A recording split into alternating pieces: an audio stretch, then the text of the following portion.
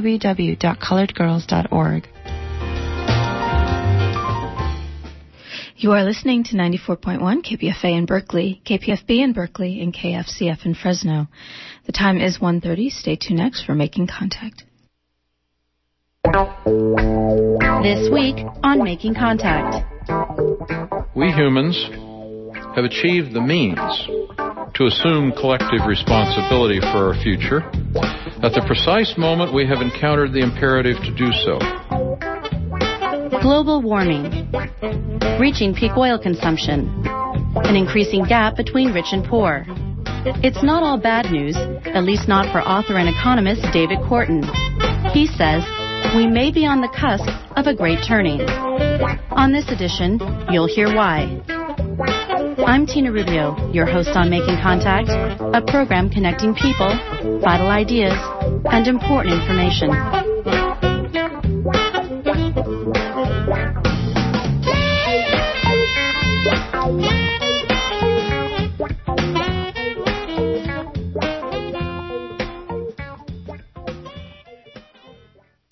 You wouldn't have expected David Korten to raise any doubts about the soundness of the global economy and its ability to solve poverty and environmental damage if you knew him in the 1980s.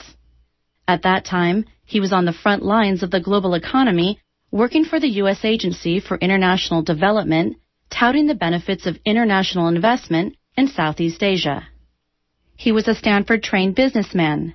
He served as a captain in the Air Force during the Vietnam War. He was also a Harvard professor of business. The way of the global economy made sense. Then something changed. In 1992, he wrote When Corporations Rule the World. His most recent book, The Great Turning From Empire to Earth Community.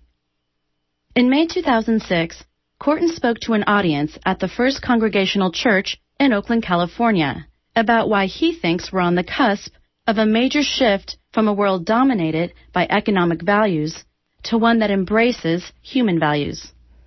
I find it useful to start my presentation by reviewing a bit of the personal story that informs the thoughts I'll be sharing with you. I grew up in Longview, a small conservative town in Washington state where my family owned a music and appliance store. In that, in that experience, I rarely saw a person of a different race. I never met a Muslim, Hindu, or Buddhist.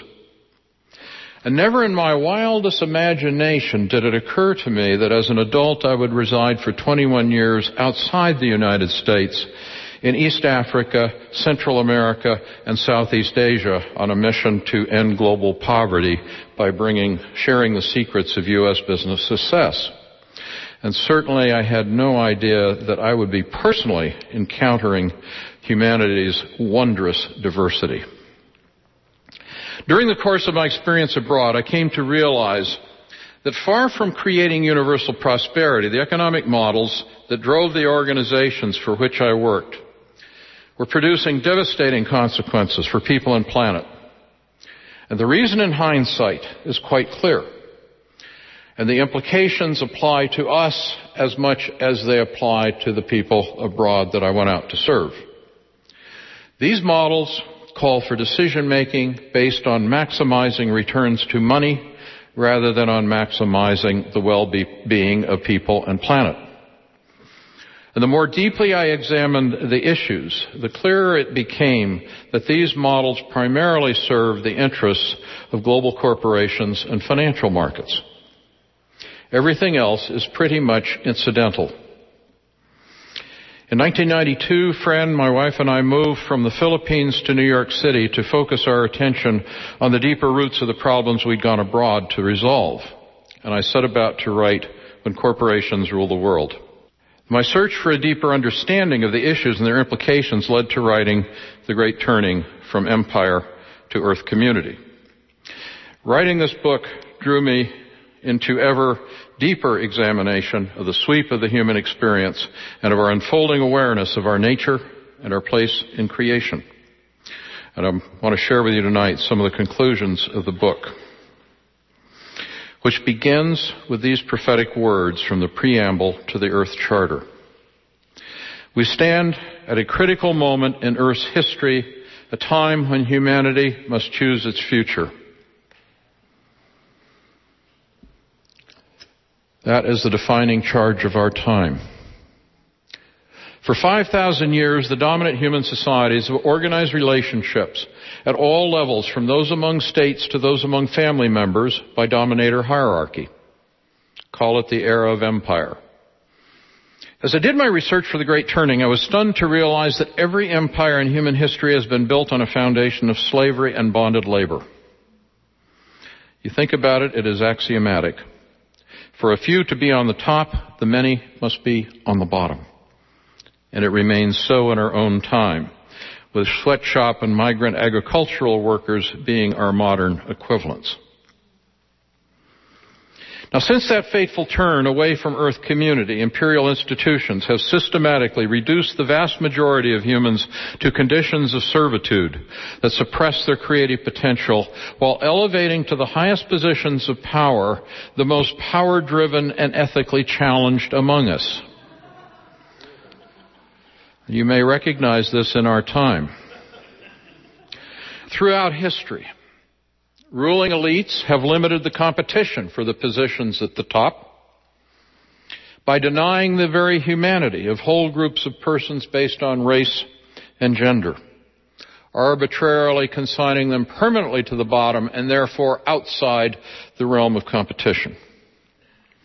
Racism, sexism, classism, and environmental devastation are all manifestations of these dynamics of the play or die competition for imperial power. Now, over 5,000 years, the primary institutional forms of empire have morphed from the imperial city-states of ancient time to the imperial nation-states of the modern era, and more recently to the imperial global corporations of our time. The pattern of domination and exclusion, however, remains largely unchanged. Many people ask me, why are you so obsessed about corporations? They're just communities of people. This argument, however, misses a critical point. In a publicly traded corporation, the people, including the CEO, are all employees of the institution with few, if any, individual rights. They're paid to serve the institution at its pleasure, required by law to leave their personal values at the door, and subject to dismissal without recourse at a moment's notice. It is the institution, not the individuals, who count. In short, this is an institution of enormous power governed by absentee owners and unaccountable managers in the business of converting the life energy of people and nature into money for the short-term financial gain of already wealthy shareholders and managers without regard to human or natural consequences.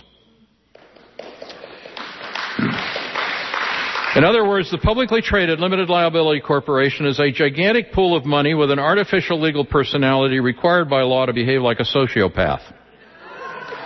It is our modern equivalent of unaccountable and often sociopathic kings of the past. Exclusion, deprivation, and environmental devastation are inevitable consequences of the cultures and institutions of empire, and they will remain with us so long as we allow these cultures and institutions to define our values and relationships. Environmental devastation and the gap between rich and poor are growing at an accelerating rate as owners of capital monopolize ever more of the productive capacity of the planet and workers are squeezed to provide their labor at an ever lower price. On a finite planet, sustainability and equity are inseparably interlinked.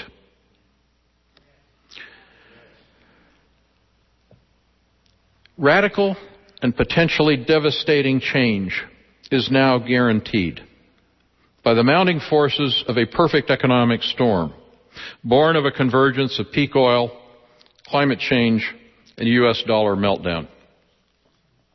It becomes more certain by the day that this convergence is poised to bring a rapid and potentially devastating unraveling of the corporate global economy. Peak oil, of course, occurs when global oil production peaks and begins its inexorable decline as continued rising demand sends prices soaring. Oil output may have peaked last year in 2005. It may not peak until 10 years hence. The difference, however, is irrelevant.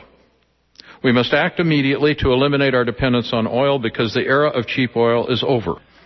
Now, the consequences of peak oil will be exacerbated by climate change. During the 20th century, the average surface temperature of the planet increased by 0.6 degrees Celsius. Projections of the increase anticipated by the end of the current century range from 2 degrees to 4.5 degrees Celsius. And we are already experiencing an ominous trend in weather related natural disasters. From the decade of the 1950s to the first five years of the 21st century, and that is within the lifetimes of most of us in this room, the annual average of severe weather events increased from 24 per year to 350 per year. So Hurricanes Rita and Katrina are but a foretaste of what lies ahead. According to a study commissioned by the U.S. Department of Defense, we can expect shorter growing seasons and a 10 to 25 percent global loss of crop yield water shortages, increase in forest fires, famine, disease, and severe weather events, and endemic resource wars and uncontrolled migration. So this is a serious business. The third element of the perfect economic storm, a meltdown of the U.S. dollar, is the consequence of a growing U.S. trade deficit that hit three quarters of a trillion dollars in 2005 and continues growing. Growth in the trade gap is a measure of the extent to which we in the United States are living ever further beyond our own means, running up a credit card debt to the rest of the world, and leaving the bill to our children. It, of course, is also a measure of the rate at which we are hemorrhaging both the family wage jobs that created the U.S. middle class and the manufacturing technology and research capabilities that go with those jobs. Now, on the day the rest of the world tires of selling on credit to an economic deadbeat, the financial house of cards that supports our profligate ways will collapse. There are three potential scenarios for our future if we choose to play out a last man standing competition for the remaining resources of the planet. We can anticipate some combination of escalating military conflict and possible nuclear Armageddon and or feudal fragmentation as after the fall of the Roman Empire. There is, of course, an alternative, which is to join in common cause in a cooperative effort to bring forth a living partnership of Earth community. Now, the combination of peak oil, severe weather events, and a U.S. dollar meltdown will force a dramatic restructuring of the way we live as the economic incentives shift from global to local supply chains and from suburban sprawl to compact communities. The communities that will fare the best will be those that act now to rebuild local supply chains with particular attention to becoming substantially self-reliant in energy and food. That imperative thus becomes an opportunity to build functioning communities, restore a sense of place, democratize economic power, and radically revise our priorities for the use of labor, land, and other natural resources, giving priority to life values over financial values. When we come back, David Korten will talk about how this shift might take place. You're listening to Making Contact, a production of the National Radio Project. If you'd like more information or for CD copies of this program, please call 800 529 5736. That's 800 529 5736. You can also download programs or get our podcast at radioproject.org.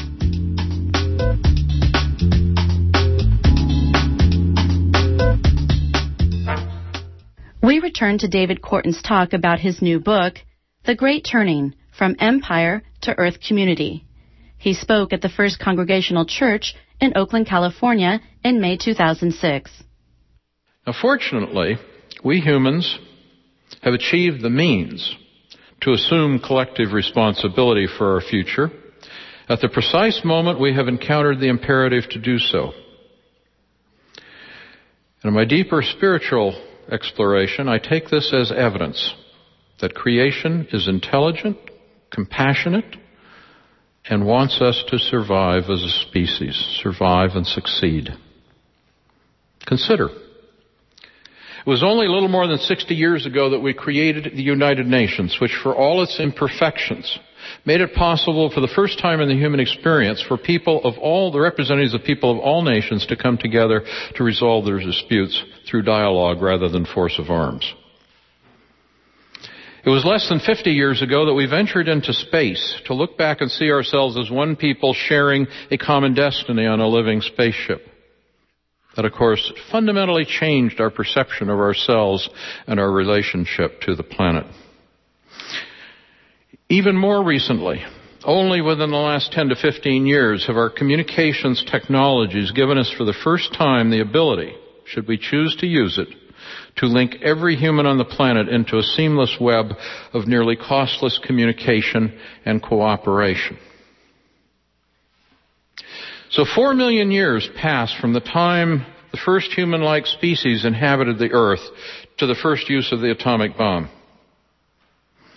We, require, we acquired the organizational and technological capabilities to choose the human future with conscious intent. Only within the lifetimes of most of us in this room. And our future will be determined by how we now choose to use these capabilities. Unfortunately, our ability to make the obvious choice for life is seriously hampered by ill-advised economic policies crafted by corporate lobbyists who give priority to corporate profits at the expense of the well-being of our children, our families, communities, democracy, and nature. Their favored policies drive down wages and benefits for working people, thus forcing parents to take on multiple jobs paying less than a family wage that leave no time for child care or community participation. They roll back regulations that protect the health and safety of children, families, communities, and the environment so that corporations can discharge tons of toxins into our air and water. They place quality education and health care and housing and retirement beyond the reach of most Americans. They give free rein to corporate lobbyists to buy political favors in defiance of the values and well-being of average Americans.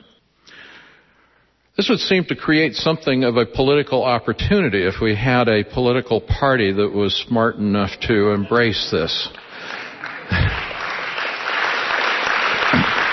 So how do the self-serving champions of corporate greed achieve our willing participation in destroying so many of the things we most value?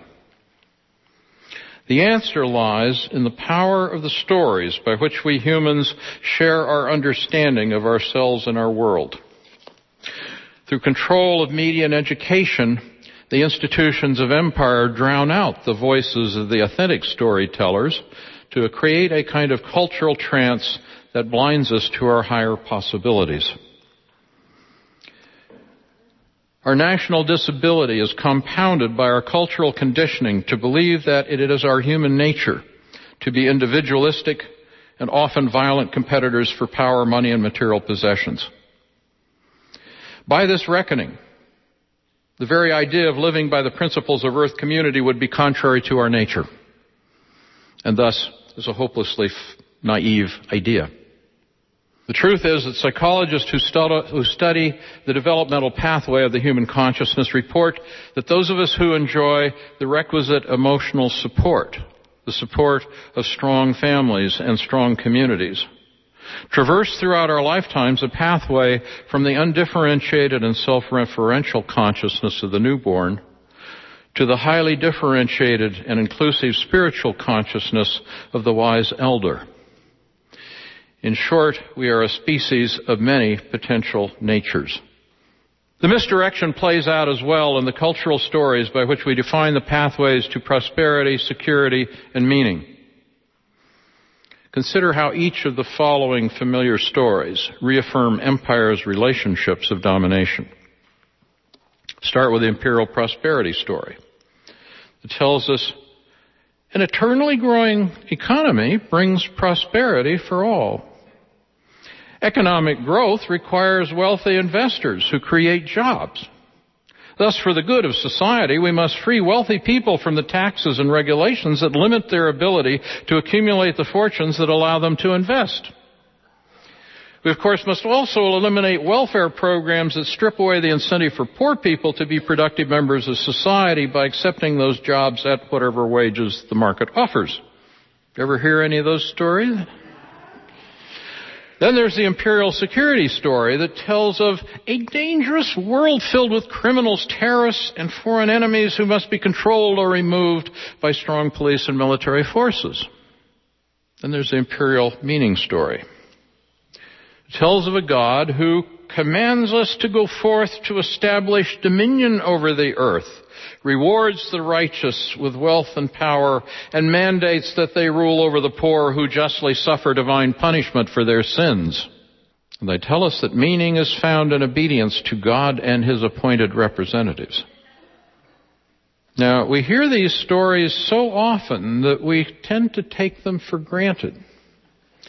And we need to come to recognize them for what they are. They are part of the propaganda machine of empire.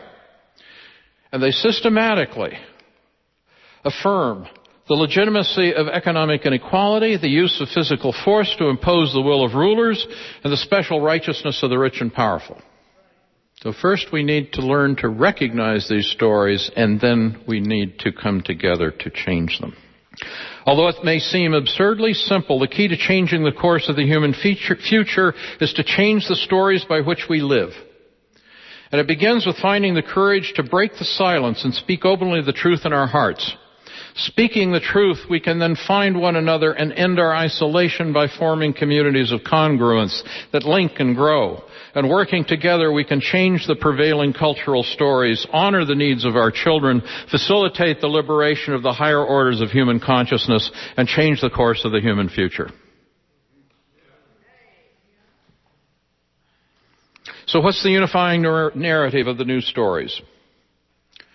Well, it's not really all that complicated. First of all, is our human nature, the idea that our human nature is defined by our capacity and indeed our responsibility to choose our nature. Second, democracy is a work in progress. Third, true prosperity, security, and meaning are found only in vibrant, caring, interlinked communities that support every person in realizing the fullness of their humanity. And consider this extraordinarily radical idea. Forget about growing the economy.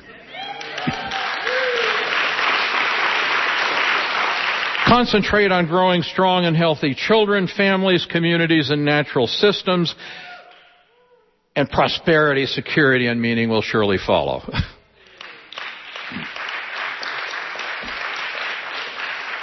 This awakening brings a turning from financial values to life values, from spiritual division to spiritual unity, from fearing our differences to rejoicing in our diversity, and from the scarcity of competition for dominator power to the abundance of cooperation for partnership power. Now, the transformation of cultural values establishes the foundation for an economic turning from evaluating progress by financial indicators to evaluating progress by the health of all our children, families, and communities. From hoarding to sharing. From absentee ownership by the few to local stakeholder ownership by the many from land use policies that favor suburban sprawl to land use policies that favor compact communities that bring home, work, and recreation in easy reach by foot, bicycle, and public transit. From the conversion of forest and farmland to the restoration of forest and farmland.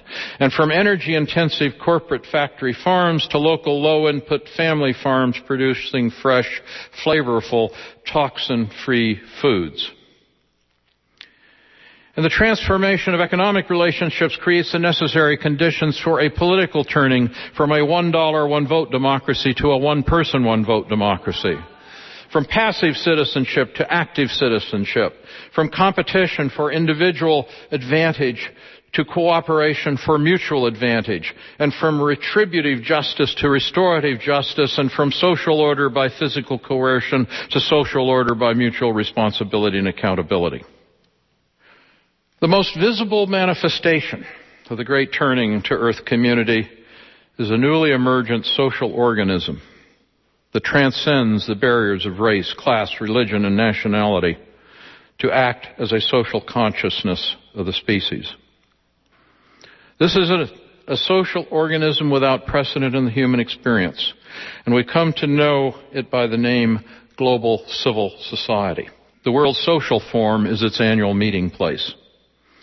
And as you will all recall, on February 15, 2003, it mobilized more than 10 million people around the globe on the same day to oppose the planned U.S. military invasion of Iraq.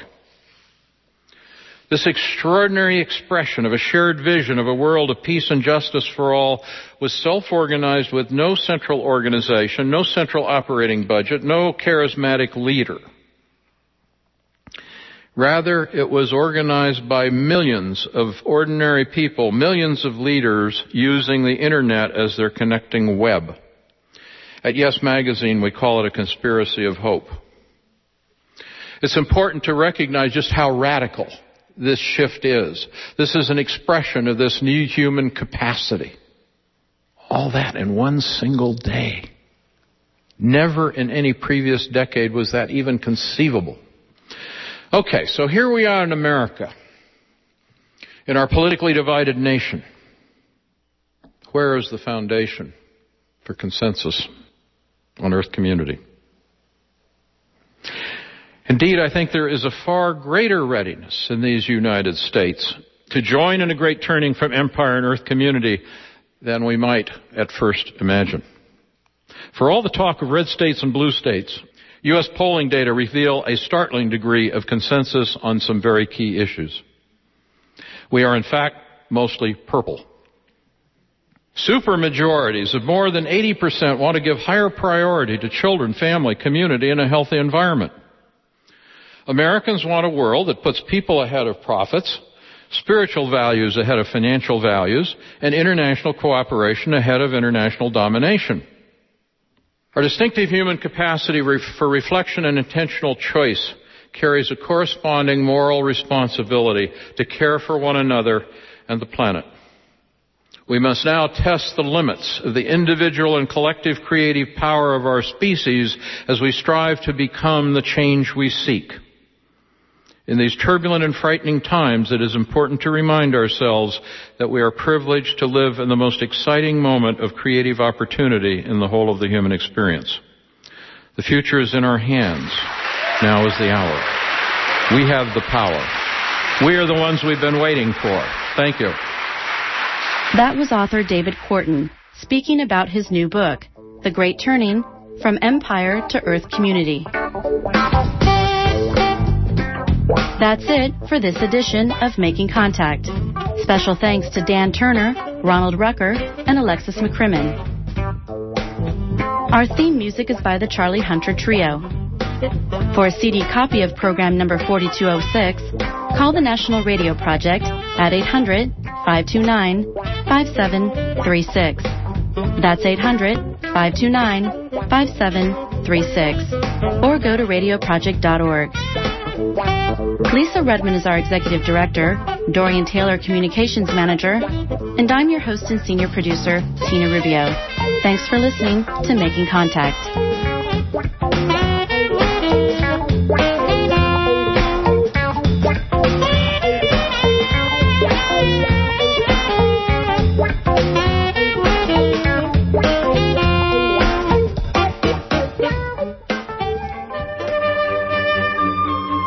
I'm Peter Sussman, inviting you to Celebrating Decca, an exuberant public reading of the brilliant letters of Jessica Mitford. Join her family and others who loved this renegade British aristocrat. She joined the American Communist Party and fought always for the good causes with style and laughter. She wrote the hilarious book The American Way of Death and brought joie de vivre to the gloomy American left.